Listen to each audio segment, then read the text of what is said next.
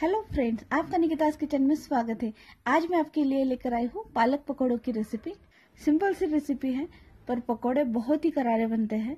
तो अगर आपको मेरी ये रेसिपी पसंद आए तो रेड बटन दबाकर सब्सक्राइब कीजिए। बेल आइकन दबाना बिल्कुल ना भूलिए, जिससे आपको मेरी नोटिफिकेशन मिलता रहा करेंगे। तो पालक पकौड़े बनाने के लिए हम एक बंच मैंने पालक लिया था, उसे मैंने धोकर साफ़ कर लिया है और बारीक कट कर लिया है।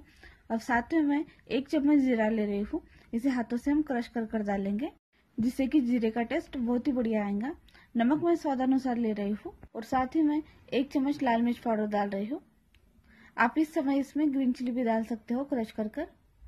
और लहसन हमें बिल्कुल बारीक कूट कर लेना है। अगर चाहो तो लहसन के हम पेस्ट भी डाल सकते हैं। अगर हमें लहसन की पेस्ट अलग से बना कर रखी है तो। तो अब मैं डाल रही हूँ सोप और धनिया मैंने क्रश कर कर रखा है।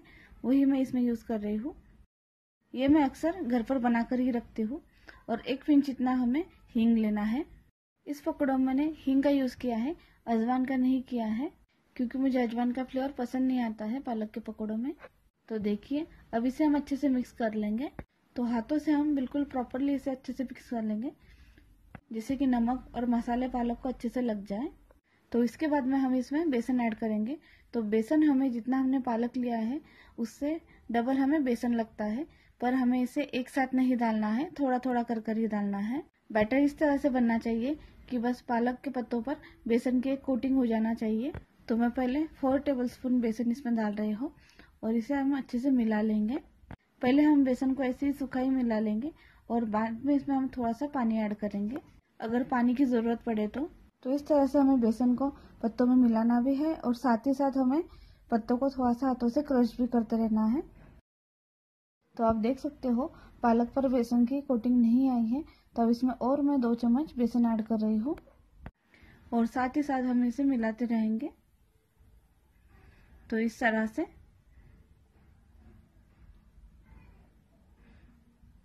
तो अब मैं और थोड़ा सा बेसन ऐड करूँगी। क्योंकि पालक ज़्यादा लग रहा है और बेसन थोड़ा कम ही लग रहा है। तो इस तरह से पालक के पत्ते बेसन में अच्छे से कोट हो चुके हैं। अब हम थोड़ा सा पानी डालकर इसका घोल बना लेंगे। तो पानी हमें बिल्कुल थोड़ा थोड़ा ही डालना है। अगर आप चाहो तो इसको टेबल स्पून से क्योंकि हमें बेसन का घोल बनाने में सिर्फ़ दो या तीन टेबल स्पून ही पानी लगता है। तो इस तरह से मैंने इसे मिक्स कर लिया है। अब बेसन का अच्छे से घोल बन चुका है। तो आप देख सकते हो, बेसन इस तरह से हो जाना चाहिए पालक के अंदर। अब हम पकोड़े बनाएँगे। तो परफेक्ट पकोड़े बनने के लिए बेसन पालक में परफेक्ट होना चाहिए इस तरह से। तो अब हम पकोड़े बना लेंगे। तो तेल मैंने गरम कर लिया है फुल फ्लेम पर। अभी हमें फ्लेम फुल ही रखना है। जब तक कि ये एक साइड से सीखते नहीं है तब तक। और बाद में इसके फ्लेम करना है हमें कम और कम फ्लेम में इसे अच्छे से होने देना है, जिससे कि ये अंदर से भी पक जाएँगे और ऊपर से क्रिस्पी बन जाएँगे। तो देखिए, इस तरह से मैंने सब पकौड़े को डाल दिया है। पकौड़े नीचे से सीखने के बाद ऊपर आ जाते हैं।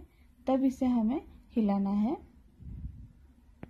और इसे हिलाकर हमें गैस की फ्लेम करना है, लो टू मीडियम करना है और उस पर इसे हमें अच्छे से फ्राई कर लेना है। पकौड़ियों की एक बैच तलने में मुझे तीन से चार मिनट लग चुके हैं। तो इस तरह से अगर आप भी बनाओगे तो पकौड़ियाँ बहुत ही करारी बनेगी। तो अभी ये हुई नहीं है, इसका कलर आ चुका है तो अब हम इसे निकाल लेंगे। आप देख सकते हो पकोड़े कितने करारे बने हैं। तो इसी तरह से हम हेल्दी पकोड़े बनाकर रेडी कर सकते हैं पालक के।